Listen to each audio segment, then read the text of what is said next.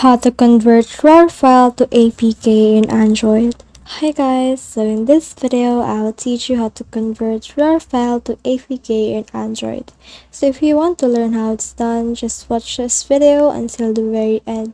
It's pretty quick and simple, so let's go. So in order to do that, we just need to head over to this application which is named RAR. So click on that and once you're in there, just locate the file that you want to convert into an APK. So as of me, this is on the apps right here. So this is the app that I'm talking about. When you click on it, you can see that this is the app that I want. So this is an APK, so I can just click on that in order to access it. However, there's also another option or method. So what you can do is to just click on this app again and click on extract files or extract here. So for me, I'll click on extract files and click on ask override and click on ok.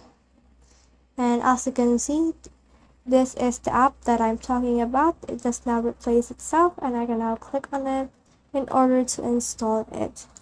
So that's the whole process. I hope this video helped you to convert rar file to apk in android. If you have questions or comments kindly put in the comment section below and we will try our best in order to reply to them Make sure to like and subscribe if you love this kind of contents. Follow for more.